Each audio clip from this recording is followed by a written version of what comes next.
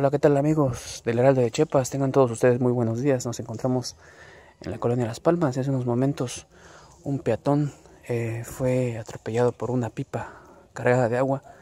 Eh, indican las autoridades de que tardó, tardaron las unidades médicas, inclusive no han arribado las unidades de emergencias para valorar a esta persona del sexo masculino de aproximadamente 45 años de edad. Y como le repetimos, este, una pipa le pasó eh, las llantas a, su cabeza y hubo exposición de masa encefálica. Ya en el lugar se encuentran las corporaciones policíacas quienes están acordonando el lugar y esperan a que el CEMEFO arribe para hacer el levantamiento del cadáver.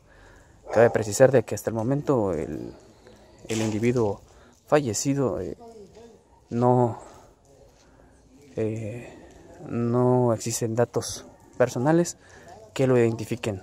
Para ustedes informó Ulises López.